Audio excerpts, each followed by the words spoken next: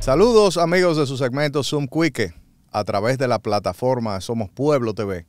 Yo soy su amigo Edward Veras Vargas y como cada domingo y para que nos vea hoy o entre semana, eh, acudo ante ustedes a agotar temas que nos parecen interesantes del ámbito jurídico, del sector justicia. En esta ocasión, yo he querido tratar el tema del sistema de administración de justicia de la República Dominicana y eh, sugerencia. La forma en que se conduce y es eh, regentado el, el sistema público de administración de justicia.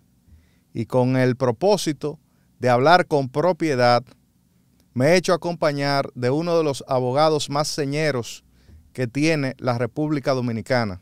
Una persona que por su formación académica eh, sólida, por su conocimiento profundo del fenómeno jurídico y su experiencia tanto en los tribunales como otrora al frente de, una corte de apelación con plenitud de jurisdicción, pues tiene toda la eh, acreditación necesaria para hablar con propiedad acerca de esta temática.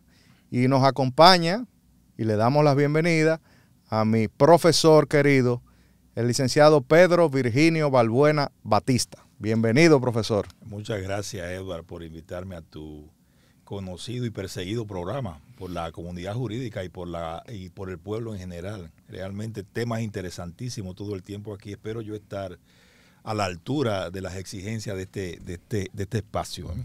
Bueno, yo creo que eh, es un banquete, es un plato fuerte, porque yo disfruto tanto en cada vez que nos juntamos en la, en la cotidianidad, hablar de estos temas con ustedes. Yo espero que eh, todo aquel que tenga la oportunidad de vernos valore eh, esa, esa visión que usted tiene acerca de, la administración de justicia en la República Dominicana. Porque independientemente de que su formación eh, más conocida es en, en el derecho público, derecho penal, derecho administrativo derecho constitucional, pues usted eh, eh, dirigió exitosamente la justicia en un departamento judicial por eh, un periodo de tiempo considerable y fue una experiencia muy exitosa allá por Puerto Plata. Entonces,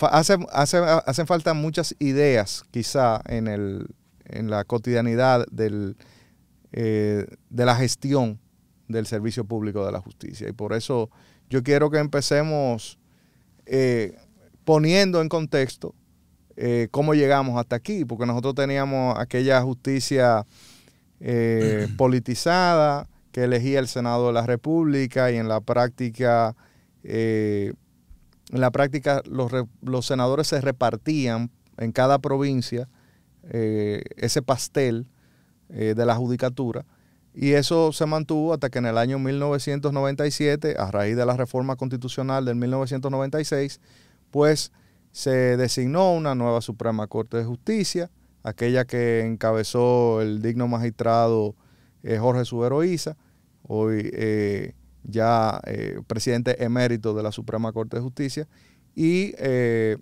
luego esa Suprema Corte de Justicia hizo un proceso tendente a designar los jueces del país completo. Y ahí fue cuando usted llegó a, juez de la Corte de Apelación del Departamento Judicial de Santiago, si mal no recuerdo. Correcto, correcto, así fue. Entonces, de, de ese momento en que la Suprema Corte de Justicia designa la nueva judicatura en el año 1997 hasta acá, ¿cómo ha evolucionado el Servicio Público de Administración de Justicia? Eh, a mí me gustaría primero quizás eh, hablar un poco de lo que fue la selección de los jueces en esa ocasión. Claro, fue. En la que me tocó participar y, como tú bien dices, eh, salí seleccionado para fungir como juez de la Corte de Apelación, de la Cámara Penal de la Corte de Apelación de Santiago. Yo creo que lo trascendente y, lo que marcó un hito en lo que fue posteriormente, digamos, eh, los avances que hubo a nivel judicial es que todo el mundo se sometió a un concurso público en esa ocasión y eso generó eh, una efervescencia importantísima a nivel nacional y mucha gente con entusiasmo entró al sistema de justicia. De hecho, muchas de esas personas valiosas ocupan hoy eh, cargos en altas cortes, muchos de ellos, y otros aún siguen en el Poder Judicial ofreciendo a un servicio que es incluso de calidad. Yo creo que esa, tres décadas esa primera, esa primera selección fue importante, porque a partir de ahí entonces, eh, digamos que se inauguró la carrera judicial y la Escuela Nacional de la Judicatura comenzó su labor y desde entonces hay ya varias generaciones de magistrados egresados de la Escuela de la Judicatura que de alguna manera este, eh, al tiempo que se integraron al Poder Judicial, lo hicieron en base a una mística completamente distinta a aquella que existía antes de 1996, que tú bien describiste. Y eh, podríamos decir que eh, junto con esa selección inicial, la, la, instauración de la carrera judicial es un elemento importantísimo para comprender los avances que hubo, eh, que se, produjeron desde 1997 hasta la fecha en el, en el sistema judicial, sin desdeñar o sin dejar de decir que eh, existe la necesidad de repotenciar el empuje que tuvo a su vez la carrera judicial de cara a los nuevos desafíos que nos trae en estos tiempos actuales. Dicho eso, entonces, ¿cuáles son las principales eh, o los más señeros, los principales o los más señeros eh, avances que ha tenido el sistema de administración de justicia en la República Dominicana desde 1997 a la fecha? La reforma constitucional trajo una cuestión que todavía tenemos como un gran, una gran conquista, que los jueces lo designa el Consejo Nacional de la Magistratura, se crea eh, la carrera judicial y, se, y sobre todo existe, existió en aquel momento la inamovilidad. Yo creo que eh, hoy día hay que reconocer que la inamovilidad judicial es un valor eh, en sí mismo a repotenciar en, nuestro sistema. mucha gente no le gustan los jueces inamovibles porque pensar en que un juez puede pasarse la vida entera en un cargo se dice que genera, vamos a decir, marasmo en el sistema judicial, lo detiene, lo congela, pero también eh, es necesario que los jueces estén tranquilos en su cargo, es necesario que los jueces sepan que no le deben su cargo más que al buen comportamiento y al buen servicio en la administración de justicia. Yo creo que, las principales, o mejor dicho, si hablamos de esa primera época de, la eh, administración de justicia, los temas principales tuvieron que ver con una judicatura eh, completamente nueva, con vigor y energía para esa primera etapa y sobre todo con una, unos avances que se vieron prácticamente desde el primer momento en lo que tenía que ver con la administración de justicia y con, eh, digamos, este, la, eh, un elemento que, quizás de alguna manera no existe con la misma intensidad ahora, pero que sí en esa primera época había mucha más eh, intención de resolver los tiempos eh, en tiempos más cortos los procesos y resolverlos sobre todo con mayor nivel de transparencia que el que existía antes del año 1996, que era una justicia burocrática anclada en un sistema completamente distinto, más propio eh, quizás del siglo XIX que del siglo XX. Bien, eh, ahí, me, ahí me llama la atención el tema de la, eh, del tiempo para resolver, porque una cosa es luchar contra la mora judicial, erradicar las prácticas chicaneras de los abogados, eh, es una, mega culpa, y del Ministerio Público también, porque ellos son abogados. No se puede, aunque a pesar de su investidura, son abogados. pero también uno ve prácticas como que un tribunal en materia penal, eh, le dé a un abogado para hacer un discurso, un discurso de cierre, su exposición final, del que podría depender la libertad y los bienes de una persona, que le den eh, cinco minutos, diez minutos, o una persona que le di, que interrogando le digan usted no puede hacer más de tres preguntas o de cinco preguntas. O sea, una cosa es controlar la pertinencia de la intervención del letrado y otra cosa es coartar el ejercicio del derecho de defensa. Y es que hay mucho malestar, porque no es que yo haga mías todas las críticas en contra de, los jueces y del sistema, sino que uno, uno simplemente en este escenario con usted la trae a colación para ver su opinión sabia.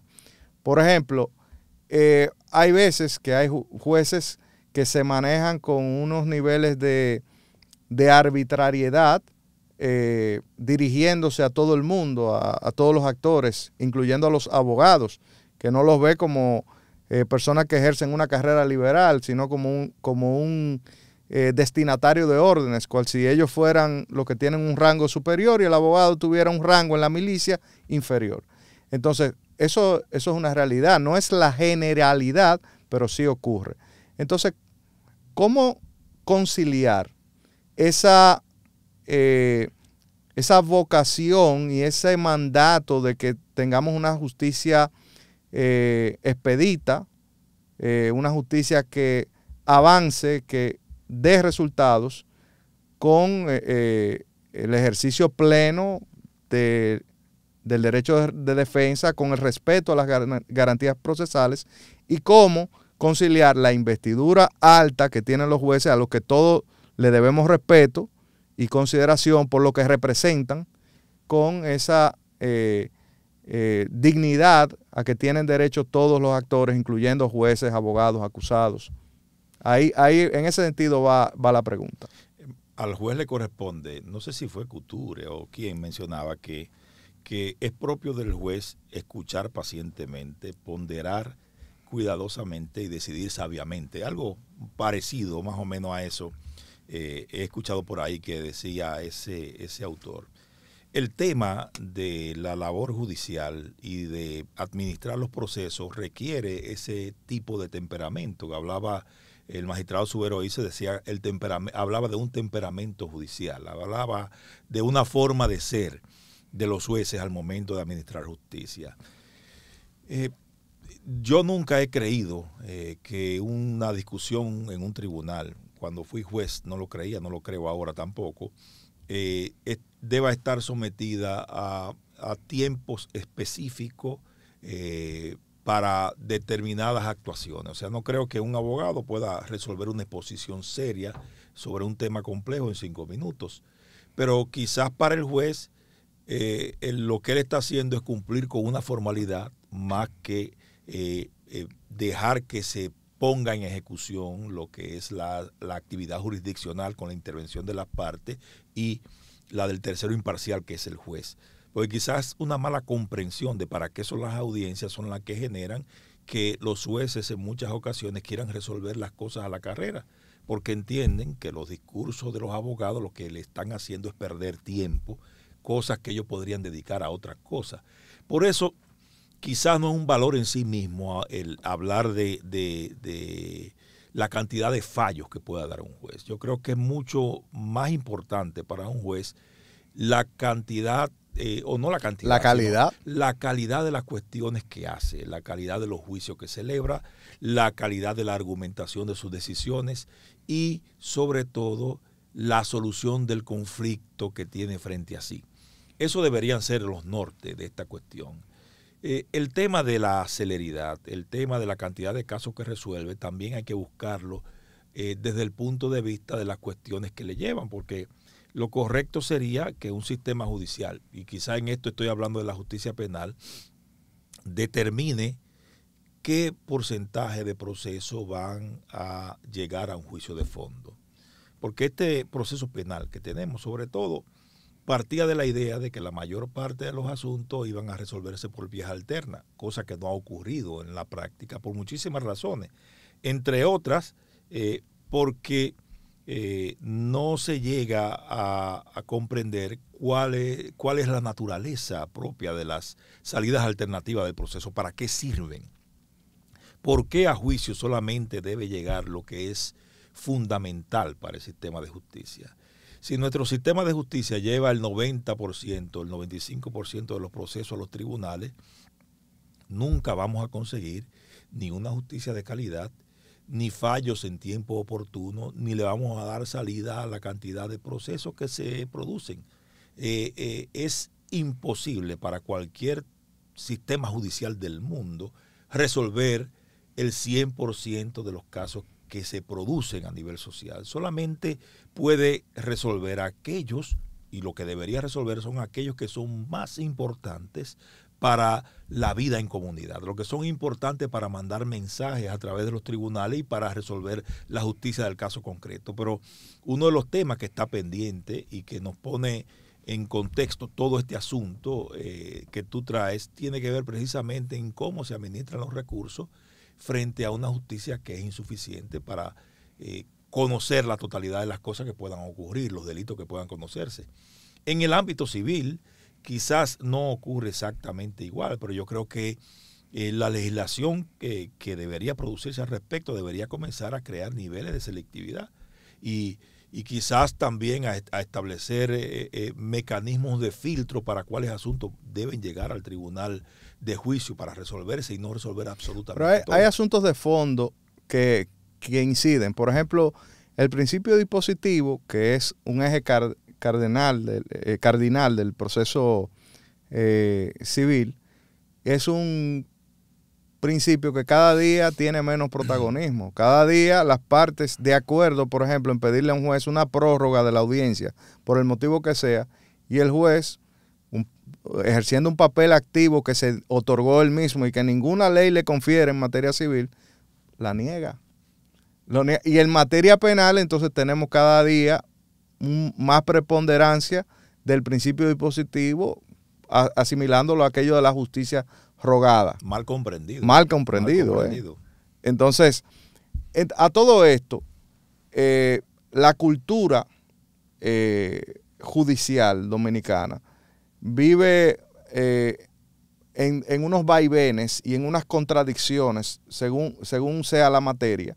Entonces usted viene con, usted trae un juez de lo penal a lo laboral y esa persona viene eh, con una interpretación de las garantías judiciales reforzadas que quizás no es lo que le va mejor a la administración de, justicia eh, en, conflicto de derecho del trabajo, como pasa también en, eh, usted trae de, la materia administrativa a la civil y, y viceversa, y se dan una serie de confusiones de roles que afectan eh, grandemente lo que yo llamo el ecosistema, porque se supone que en un sistema que funcione eh, eficientemente, todo el mundo sepa qué esperar en cada circunstancia del proceso.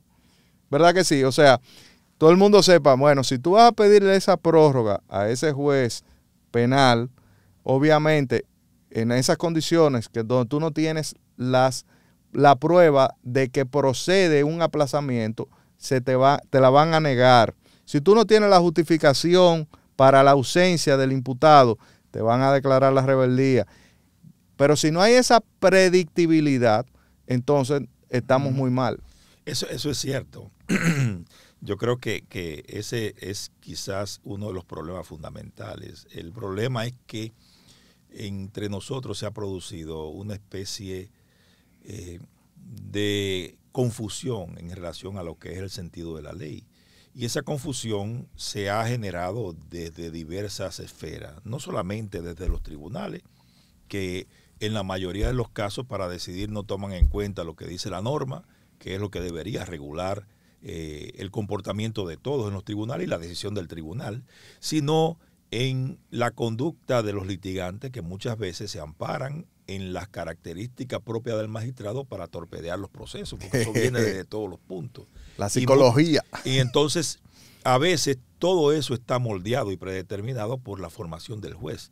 Eh, de alguna manera, el hecho de que existan jueces que tenían originalmente eh, especialidades penales en otra jurisdicción o de una jurisdicción civil a una penal y se vayan intercambiando, tenía como finalidad algo que podría ser bueno, eh, en otro esquema, y es que cualquier juez fuera capaz de resolver cualquier tipo de proceso. Lo que pasa es que la especialización el tiempo de adaptación lleva un tiempo. La curva de aprendizaje. exacto. Cuando usted cambia a un juez de lo penal y lo coloca en un tribunal laboral, ese juez necesita un tiempo para adecuarse a lo que ocurre con la norma laboral, a lo que pasa con la jurisprudencia laboral y a sobre todo a la administración de un proceso de esa naturaleza. Y esa curva beneficia, eh, perjudica a la administración de justicia mientras eso ocurre. Y quizás cuando eso ocurre, resulta que lo mandan para un tribunal administrativo y resulta que tú estás replicando en jurisdicciones distintas problemas que hacen que no se consiga esa predictibilidad que uno anda buscando de los tribunales. Pero la formación también, se supone que si tenemos un juez en lo civil que está haciendo carrera, entonces esa carrera implica que él que el Estado ha invertido en formar a ese recurso humano para que sea un servidor público sirviendo en ese tribunal en esa materia.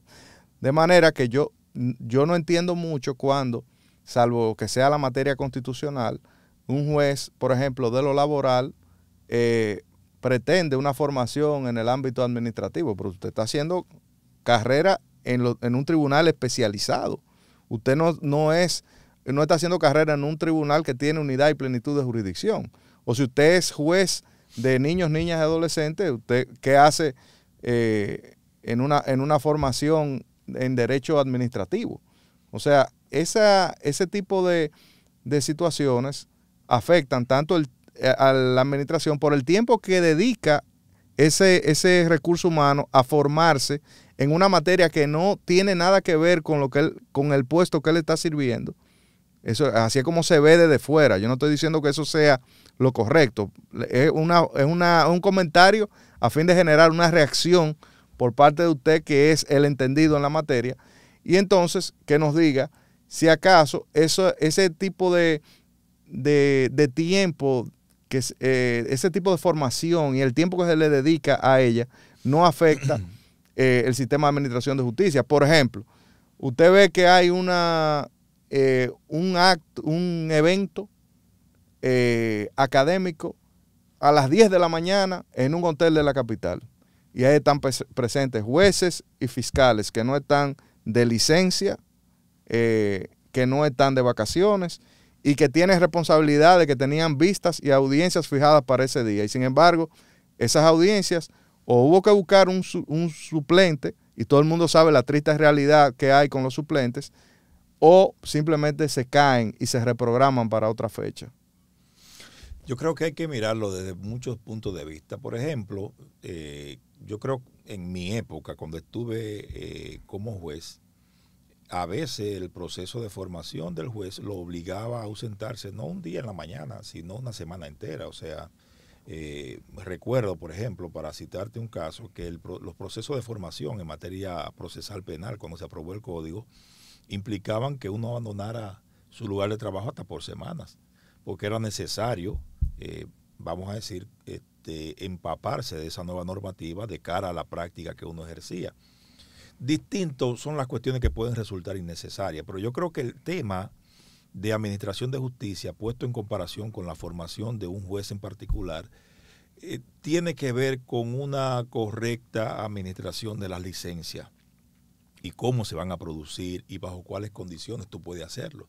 Y de cara a cuáles necesidades pueden hacerse, porque no podríamos cerrar de manera absoluta que bajo ciertas circunstancias un juez pueda ausentarse para un tema de formación que podría ser incluso de importancia para lo que él hace en su propio tribunal. O si él, por ejemplo, si son de estos jueces que tienen una formación especial en una materia y son de los que van a, de los ponentes. De los ponentes en esos eventos, ese espacio es importante que el juez lo agote, porque también, aparte de la labor que, el juez lleva a cabo en el tribunal, hay una labor también de cara a la comunidad que es importante, que también la gente pueda escuchar o la comunidad jurídica pueda ver cómo ese juez piensa si es que, eh, eh, digamos, ese pensamiento es importante para la comunidad y, y, también para su propio oficio.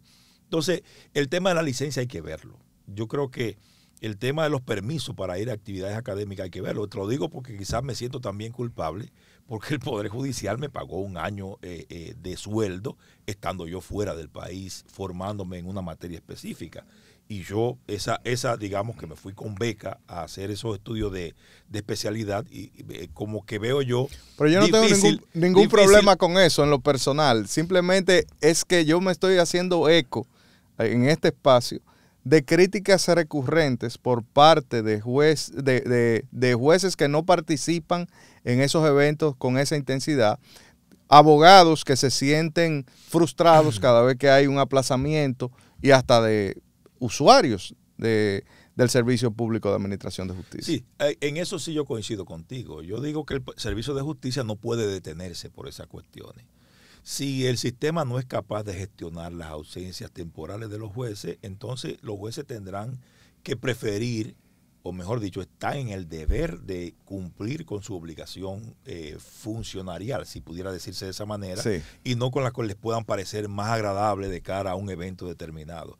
Eso es lo cierto. Aunque quería volver sobre el tema de la especialización.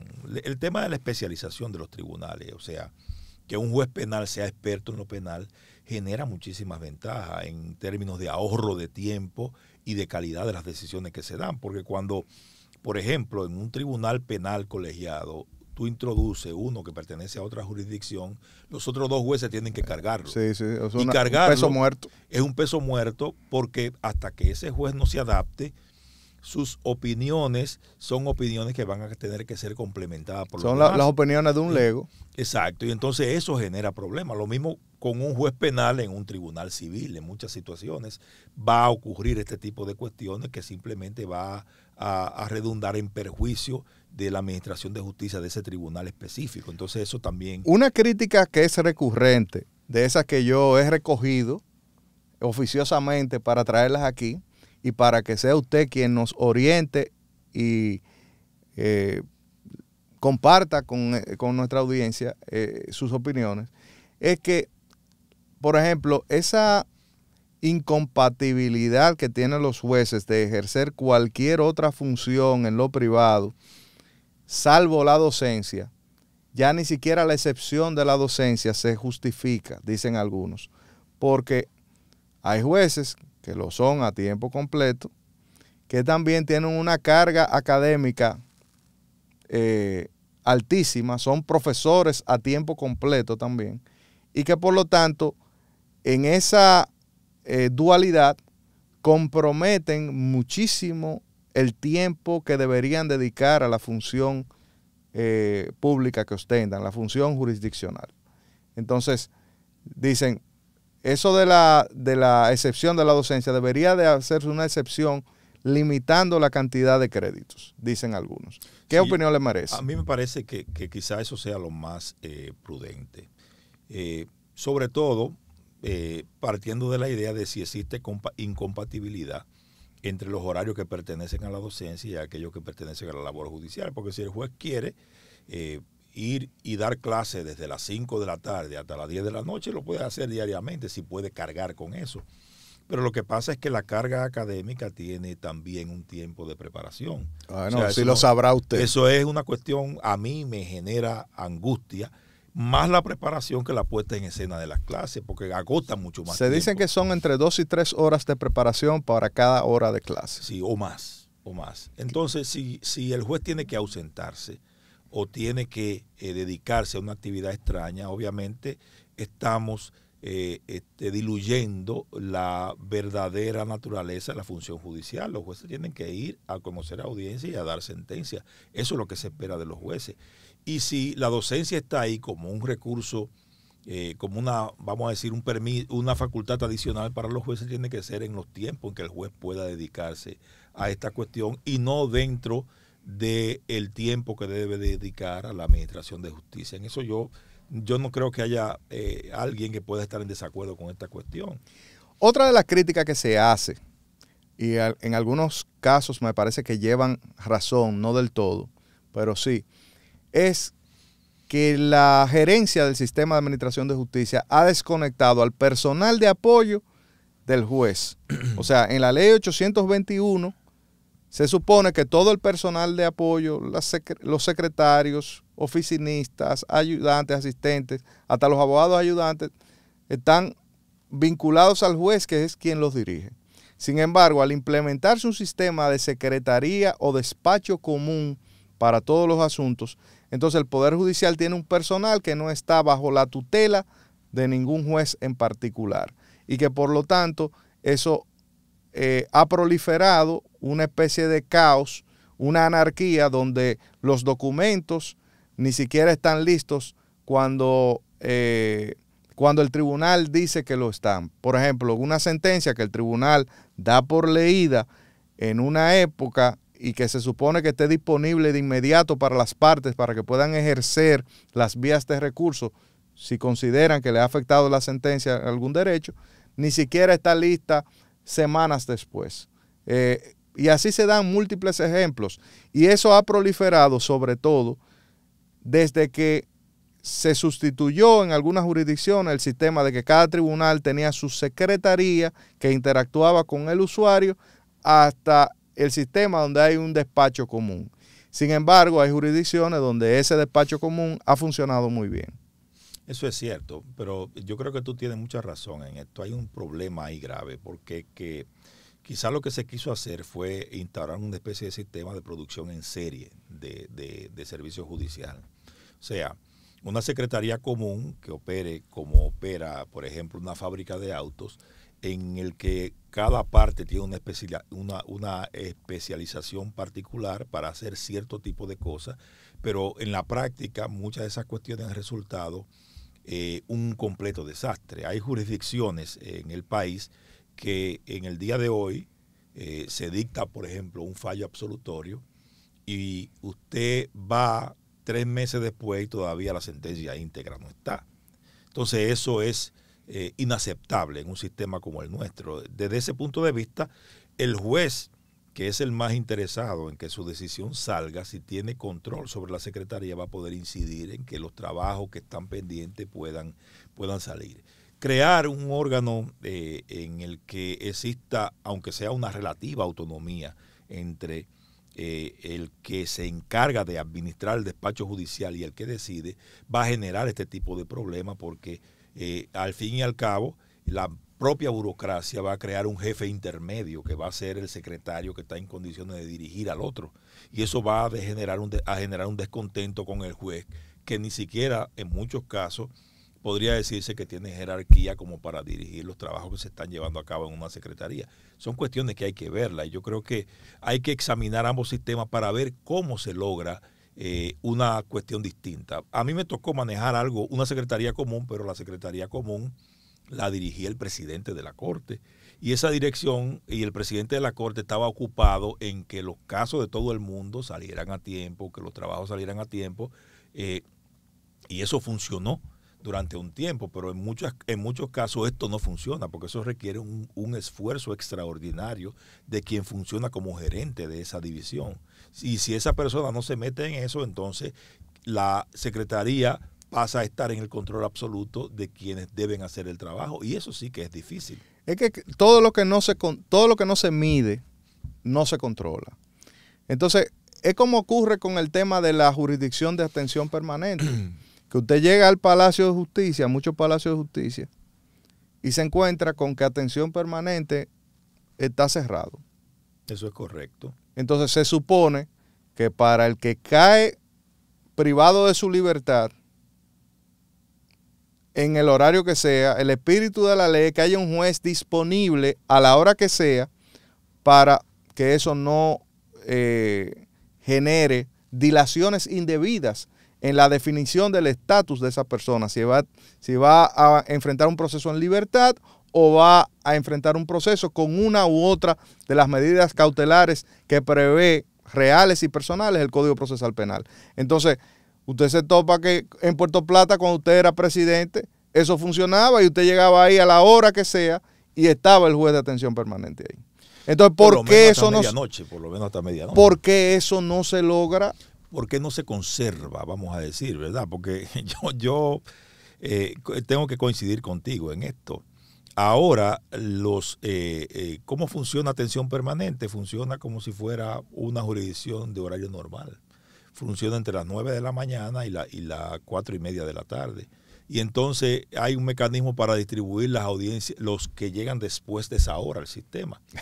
Entonces, puede ser que quien llegue arrestado eh, eh, ya tenga 48 horas en, sede eh, policial. En mano Pero que eso es lo que pasa. Y entonces tenga que esperar dos días para que el juez de atención permanente resuelva una cosa que quizás es que lo presentan antes, Es que lo presentan antes de las 48 horas, eso es verdad. pero lo bien pueden presentarlo inmediatamente, ¿por qué no? Lo que pasa es que eso es un fraude como se está haciendo. ¿Por qué? Porque supuestamente, porque tengo que decir que supuestamente, de, eh, tú tienes que ir a control judicial a más tardar dentro de las 48 horas. Ese es un plazo máximo. Claro. Que no necesariamente debería agotarse siempre. O sea, si, si, el Ministerio Público está listo para hacer su solicitud y la puede hacer dentro de tres horas, deberían ser tres horas y no 48 horas. Aquí en República Dominicana, el Ministerio Público agota siempre, siempre el plazo de las 48 horas. Y el juez, entonces, que tiene otras tantas para resolver, lo gestiona dentro de los plazos que él puede acomodar. ¿Por qué? Porque recibe una solicitud, la fija para el día siguiente, pero el día siguiente entonces una parte le pide eh, un aplazamiento para tomar conocimiento de, de, los elementos de o para aportar presupuestos. O para aportar presupuesto y resulta que la audiencia puede estar en una jurisdicción de instrucción semanas. Y ese sistema no está creado para operar de esa manera. El sistema está creado para que usted se tenga control judicial a más tardar dentro de las 48 horas, que es el plazo constitucional. Un plazo que no soporta ningún tipo de ponderación. Usted no lo puede alargar.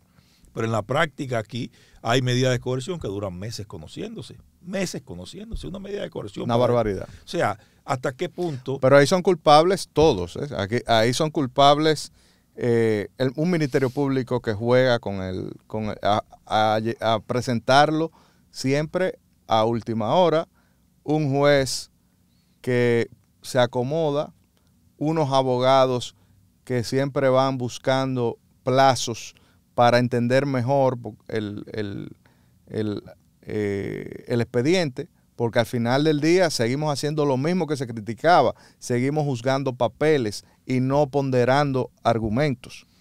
Entonces, en eh, algún momento somos tramitadores. Llega a mi memoria el tema cuando se iba a aprobar, eh, cuando se iba a someter al, Congreso la, modificación que posteriormente se llamó Ley 1015 del Código Procesal Penal.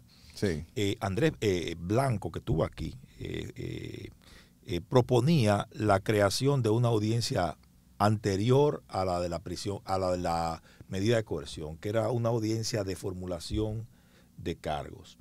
Esa audiencia obligaba al Ministerio Público a presentar inmediatamente al arrestado para control judicial. A una audiencia que era solamente para verificar que el arresto era legal y que existía, existían causas eh, de entrada para pensar en un caso penal. Eh, no se pudo aprobar eso, pero ahora, andando el tiempo, me pongo yo a pensar que quizá era necesario, porque lo que quiere la Constitución es que un arresto completamente ilegal cese si existe. Es que Y entonces la medida de coerción estaba sometida a un tiempo más eh, eh, eh, dilatado para que pudieran ocurrir estas cosas que ocurren aquí al momento que se solicita la medida, la aplicación de medida de coerción. ¿Por qué? Porque es que no hay plazo que se respete. O sea, lo que está pasando constituye una desnaturalización absoluta de cómo deberían funcionar las cosas. Si a mí me agarran preso, yo quiero que me lleven a tiempo al juez y que el juez conozca de inmediato respecto de la condición mía como arrestado y de la posible medida, medida de coerción que podría imponer, sino esperar a que pase un tiempo larguísimo que desnaturaliza completamente el sentido del el control judicial de la detención, que es de lo que se trata en este caso. Esto es algo eh, donde nosotros, usted está desarrollando lo que es el deber ser, tan diferente al, tristemente diferente al ser ¿verdad? lamentablemente, lamentablemente, incluso el que... Pero también es frustrante que lo pongas como una utopía inalcanzable, ¿eh? Porque todo lo que estamos conversando aquí son cosas que se pueden lograr con ajustes organizacionales y con la creación de parámetros de comportamiento, tanto de cara al Ministerio Público, a la defensa y a los jueces. Para esto se puede hacer. Es una, es una eh, utopía eh, porque nos cansamos, nos vamos agotando en el proceso. Eh, tantos cursos, tanta formación, y vemos que muchos actores del sistema, sobre todo los que están vinculados al servicio público de, administración de justicia, hacen en la práctica una serie de actuaciones que si ellos, que la mayoría son docentes, ¿eh? si ellos le ponen un examen a uno, uno va y se sienta, toma la clase, y, lo evalúan a uno y uno hace un trabajo como lo que muchos de ellos están produciendo, uno se quema. Y sin embargo, eh, el propio producto final de muchas, muchas decisiones, muchos dictámenes, eh, mucha, mucha actividad procesal, eh, no resiste un análisis teórico de lo que ellos mismos enseñan. Entonces hay, una, hay una gran dicotomía y por eso yo hablo de, de la... O sea, y no, he venido solamente a criticar, porque hay puntos, hay puntos que, eh, que son luminosos. Se ha avanzado, o sea, no estoy diciendo que estamos en la era de la tristamente superada justicia. Si nos vamos a conformar con un servicio de justicia tan eh, eh, deteriorado, si nos vamos a, a quedar tranquilos frente al hecho de que eh, por una parte el fiscal siempre agote las 48 horas y por otra parte el juez dure dos semanas para conocer respecto a una medida de coerción. Yo creo que no podemos conformarnos con eso. Y yo creo que la ciudadanía debería reclamar un servicio de mayor calidad en cuanto a eso y que se cumpla lo que está mandado. Porque esto no nos lo estamos inventando tú y yo. Es que la constitución tiene parámetros específicos, cada reglas específicas para esto. Mire, cada vez que yo eh, le digo a un cliente qué esperar de un litigio, yo siempre le digo que la justicia es lenta, mala y cara. Acerca de la lentitud, ah, bueno, que la Suprema Corte de Justicia se ha puesto al día con, el, con los recursos de casación, más o menos, que están acelerando, que están rindiendo muchas decisiones. Eso es verdad, eso es encomiable, pero fue en base a una ley de casación que le, da herramientas suficientes para prescindir del trabajo de tener que conocer muchos recursos, que a mi juicio, en mi formación, como buscarían la unidad de la jurisprudencia, deberían de, ser un recurso un poquito más abierto el de casación. Que lo que yo, estoy completamente de acuerdo contigo. Pero entonces, eso en cuanto a la, a la, a la, a la lentitud es mala porque si bien usted tiene muy buenas decisiones en algún grado, por ejemplo, si usted arrancó y obtuvo una buena decisión, quizá una corte de apelación no entiende el problema y se la revierte, y, usted tiene dificultad para acceder a, a, que la Suprema Corte de Justicia en casación se la revise. O viceversa, quizá usted arrancó perdiendo un caso, una injusticia, y entonces tiene que esperar todo ese tiempo para que la Corte de Apelación le enderece la cosa, pues no hay predictibilidad, no es verdad, no hay esa unidad en la jurisprudencia. Aquí cada quien tiene su librito y hasta se contradice eh, por momentos.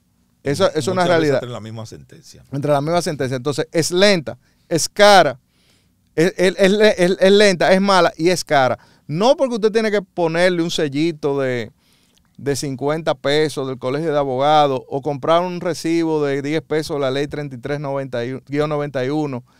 No, es cara porque también los abogados, eh, por, lo, lento que son los casos, tienen tarifas eh, en su ejercicio privado. Los buenos abogados cobran dinero, sumas de dinero que son acordes a la dificultad del, reto que enfrentan cada vez que van a, litigar, pero además en proporción al tiempo que les toma.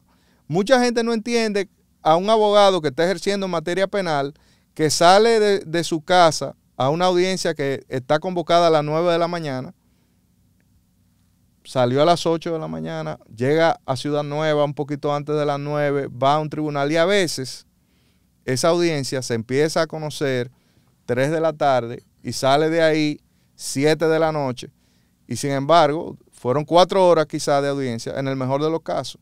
Pero usted perdió desde las ocho que usted salió de su casa hasta las tres, dando vuelta ahí y, no, no, hizo nada. Entonces, eso encarece también porque el tiempo del abogado es el único recurso que él tiene mm. para dedicarlo a los expedientes. Sí, pero mira qué pasa, ahí hay cosas terribles. Por ejemplo, hay un tema de organización de las audiencias. Aquí hace falta crear un verdadero sistema de gestión de audiencia. Eso estuvo una vez en, carpeta, no sé hasta qué punto, sobre todo en lo penal, se iba a crear un sistema, un único sistema nacional de audiencia, de manera tal, uno de los elementos, que el abogado, por ejemplo, Eduard Veras, si tenía una audiencia fijada en Puerto Plata el día 20 de octubre, ningún otro tribunal ningún otro tribunal le iba a ocupar eso, porque uno de los problemas que hay aquí para el conocimiento de los juicios, tú sabes cuál es, es que los abogados tienen eh, muchos procesos en muchos tribunales. Así- así Entonces, es. un abogado, por ejemplo, el proceso penal demanda eh, eh, el cumplimiento de determinadas formas para la calidad del proceso. Por ejemplo, una, un caso penal debería conocerse en tantas sesiones consecutivas como, como sea fuera posible. necesario. Y la suspensión debe ser un caso excepcional. Y resulta que República Dominicana es al revés. O sea, los casos. La excepción la- es que sean se consecutivos. exacto. Lo- los casos se fragmentan en tantas, en tantas sesiones como sea necesario. Y la inmediación Se pierde. se pierde absolutamente. Porque no del solamente caso. inmediación, se pierde es la verdad. concentración Sí, también. Continuidad. Continuidad. Porque lo que pasa es que el proceso penal hay que verlo como usted, cuando usted se sienta a ver una película. Tú- si tú ves la película y ves 15 minutos en cada vez que tú lo ves, es muy probable que si pasa un tiempo entre la primera sesión que tú tuviste y la tercera, es muy probable que tú olvides lo que pasó en la película y pierdas el hilo. El proceso penal es una puesta en escena de una narración, de narraciones, narraciones que nos trae el que acusa y el que se defiende. Y esas narraciones están respaldadas por elementos que la corroboran. Por ejemplo, pueden ser testimonios, pueden ser documentos, y esos documentos van integrándose y forman un solo cuerpo frente a los jueces. Y los jueces llegan al conocimiento de ese solo cuerpo y están en condiciones de dar una, una decisión acercada a la verdad si lo conocen así. Ahora, cuando un tribunal te fija cinco audiencias en un día y te conoce un pedacito, un fragmento de cada proceso y lo continúa y lo prorroga, al fin y al cabo estamos asistiendo a un juicio que tiene una media verdad, pero no solamente eso, estamos creando en muchos tribunales compromisos de abogados que tienen audiencia en tres tribunales distintos donde van a conocer un pedazo de proceso y todo esto dilata el conocimiento del proceso y afecta la calidad de las decisiones que se toman. Entonces, nosotros tenemos que crear, eh, hay que estudiar el problema, como se estuvo estudiando en alguna ocasión, y crear mecanismos para optimizar el uso del tiempo. Un tribunal penal que fije cinco audiencias, siete audiencias en un día y no conoce ninguna, no está haciendo ningún servicio. No. Yo preferiría que Ah, fijara tres Y hay, o que fijara dos. y hay del y que se imputado que, no va. Hay del imputado que, que no va en esa, en esa condición. Claro, una- tú sabes que lo que hay atrás es una rebeldía. Pero si un tribunal fija dos o tres audiencias y las conoce cada día, cuando tú lo multiplicas por la cantidad de audiencias celebradas al mes, vas a notar que el porcentaje de casos conocidos va a incrementarse. Claro. Yo lo tengo probado eso, que funciona de esa manera. Eh, eh, cuando me tocó estar en la justicia, implementamos un sistema que se fijaban a lo más cinco audiencias en un día Pero era para se- conocerla pero toda. era para conocerla toda si se podía. Habían casos específicos, por ejemplo, días específicos, por ejemplo, para la ley 5088, que a veces de seis casos que se fijaban se conocían cinco. ¿Mm? Los homicidios no se pueden fijar juntos. Tú no puedes fijar cinco homicidios un día. Tú puedes fijar dos, como mucho. Puedes quizás fijar tres. Pero esto requiere de estudio y requiere de ponerle atención a este problema para luchar contra temas que tienen que ver con calidad y que tienen que ver con eficiencia del servicio de justicia y hasta con rapidez. Si tú creas, tú puedes tener 10 tribunales colegiados o 15 colegiados y va a pasar lo mismo. que Va a replicar exactamente la misma mecánica La de misma nosotros. mecánica. Todo se va a dañar. y No- todo va, a va- generar el mismo defecto y el mismo cansancio que generan ahora eso, que uno se pasa un día en un tribunal penal sentado esperando una audiencia que después resulta que se aplazó por una nimiedad que no pudo ser cumplida porque si hay siete audiencias fijadas es imposible que el personal pueda completar. Ojalá siete. fueran siete. Uno ve roles de 15, 20 audiencias. Y si son conciliaciones, por ejemplo, en tribunales unipersonales, o, y lo- algo parecido pasa en la, en la materia laboral, si son conciliaciones no importa, pero esa donde se va a discutir prueba, donde se va a suscitar el acto político del juicio, como usted me enseñó que se le llama, entonces ahí, para que eso ocurra, con todo el respeto al debido proceso, eso no puede ser atropellado, eh, eso no puede ser a las volandas y atropellando el, el tiempo. Pero yo te voy a decir, y te interrumpo ahí porque te escuché decirlo. Yo te pregunto, ¿cuántos casos se concilian en un tribunal laboral? ¿para qué sirven? Y, y, estoy diciendo cosas que quizás muchas personas no estén de acuerdo con ellos. El tema, la intervención de los vocales, ¿cuántos asuntos resuelven? Eso es una muy buena pregunta. ¿Cuál es el sentido de una conciliación en un espacio judicial? ¿Por qué no crear un mecanismo distinto? Bueno, eh, pasamos por el tema de la conciliación en la Secretaría de Trabajo, que tampoco daba, tampoco daba, resultado. Pero hay que crear un mecanismo que permita que lo judicial se quede con lo judicial. Ese escenario, al menos en mi experiencia, durante mucho tiempo como juez laboral, que también lo fui eh, eh, por más de ocho años en Puerto Plata, y cantidad de audiencia diaria, demuestran que las conciliaciones eran casos excepcionales y no la promovían ni siquiera los vocales. Acuérdate que las audiencias se aplazan por ausencia de vocales. Claro, también porque el tribunal no está legalmente no está legalmente constituido. Todas estas cosas las hemos ido creando nosotros para enturbiar absolutamente todo y perturbar la administración de justicia. Pero te digo lo mismo, por ejemplo, de las conciliaciones en materia penal. Hay que ver cómo eficientizar el uso del tiempo para esas cuestiones. Pueden existir alternativas para conocer esas audiencias en escenarios distintos o con jueces designados para la conciliación, lo que sea en esa materia, y hacer que los jueces se encarguen de trabajar en lo que deben hacer, que es conocer procesos, sin este tipo de perturbación. Quería hacerte ese comentario con respecto a esos dos aspectos que me parecen que son importantísimos, también de cara a una justicia que no es la penal, pero que también requiere... Claro, por lo que... Eh, viendo una, una... Tenemos que tener una visión integral, como se suele decir últimamente, holística del, del, problema. Pero eso nos lleva a otro, a otro escenario, que es, y fue uno de los temas por los que empezamos, la carrera judicial. Nosotros tenemos eh, jueces de carrera. Todavía quedan jueces por contrato, eh, de gente que de, manera injusta eh, se le ha mantenido en un, en un, limbo y no han accedido al régimen de garantía que les ofrecería y la estabilidad que le, ofrecería la carrera judicial. Pero también eh, vemos que jueces van a los medios de comunicación a quejarse del estatuto, del régimen disciplinario que ellos aceptaron cuando juraron el cargo. Entonces usted lo ve que aquí mismo este medio han venido eh, jueces y uno no, no dice si lo que dicen es verdad o es mentira. Algunas cosas son difíciles de, de creer, pero hacen una denuncia como cualquier ciudadano, pero esa denuncia que hacen la hacen desde un estatuto que ellos aceptaron de carrera, que implica aceptar como debido proceso el que organiza eh, el, los, el, que organiza los reglamentos eh, que rigen esa función pública que ellos aceptaron. Entonces vienen y eh, despotrican contra las autoridades que encabezan ese poder del Estado. Entonces, a mí me parece que Usted puede hacerlo como ciudadano. Usted puede decir, mire, yo soy, víctima de eso, pero lo primero que usted debería hacer es renunciar. Entonces, porque si usted aceptó ese estatuto, que la inspectoría lo puede investigar y lo puede sancionar, entonces luego no se esté eh, quejando. O sea, porque el debido proceso para esas personas que están en ese estatuto es ese. Ahora bien, también está el, el asunto de que esas eh, de, que, de, ver si esa, eh, ese régimen disciplinario de verdad es acorde al debido proceso, porque de cara a la víctima de lo que podría ser un proceso disciplinario, ya ni siquiera puede ser querellante, porque el Consejo de Poder Judicial ha cercenado esa figura.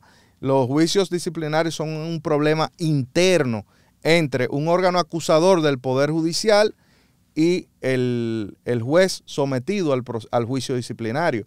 Ya la víctima lo que puede hacer es denunciar y hasta ahí se queda, no puede participar del proceso interno. ¿Qué opinión le merecen estas situaciones que yo le, le, he manifestado ahora mismo? Yo eh, creo que el telón de fondo de la cuestión es si los jueces tienen derechos fundamentales o no.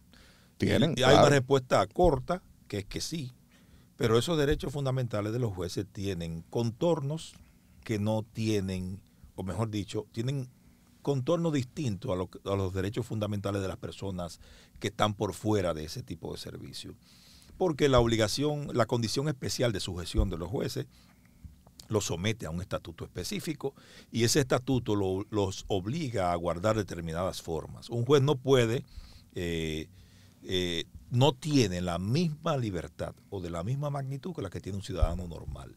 Un ciudadano normal puede, eh, en el contexto del ejercicio de su derecho a expresarse, decir todo cuanto quiera, salvo las limitaciones que, por ejemplo, la ley establece o las responsabilidades ulteriores que pueda generar, porque no existe censura previa. Pero cuando un juez sometido a, una sujeción eh, funcionarial como la que le corresponde a un, a un juez del Poder Judicial, eh, desborda ese, el ejercicio del derecho a la libertad de expresión, también está cometiendo otra falta encima de la que podría estar cometiendo en ocasión del proceso que, al que está sometido.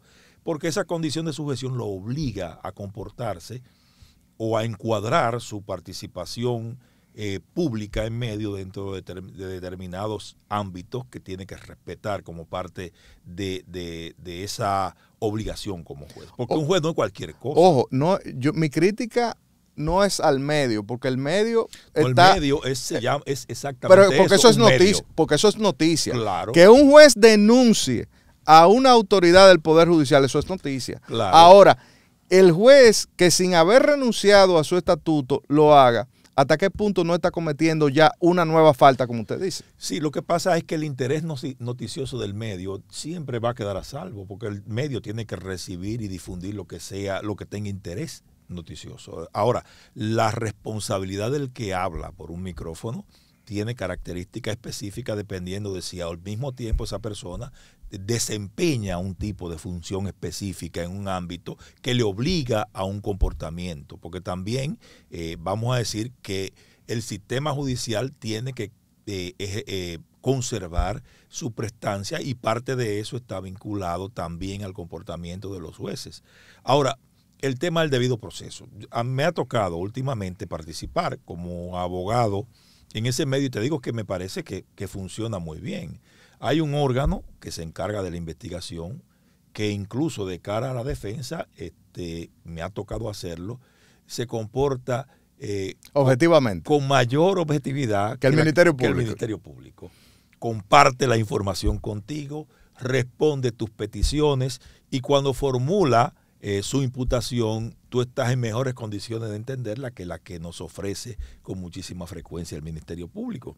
Y eso va a un tribunal en donde, eh, digamos, lo que me ha tocado a mí vivir, porque lo, he, eh, me ha tocado participar, el estándar, el estándar que hay de juzgamiento no tiene nada que envidiarle a un tribunal penal.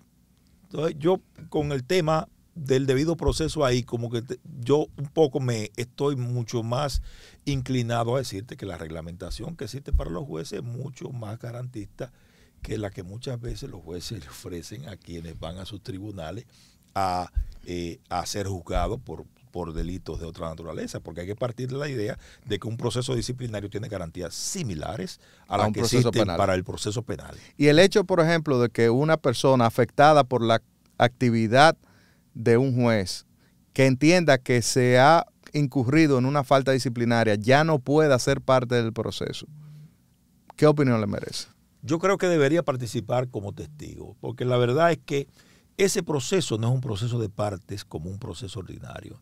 Lo que permite que un querellante pueda intervenir en el proceso penal tiene que ver con la afectación por un delito y dos cosas que pueden ocurrir. Las condiciones en las cuales se promueve la acción penal porque yo quiero que le impongan una sanción a esa persona que me hizo un daño o por los daños y perjuicios que me puede irrogar el hecho cometido por esa persona.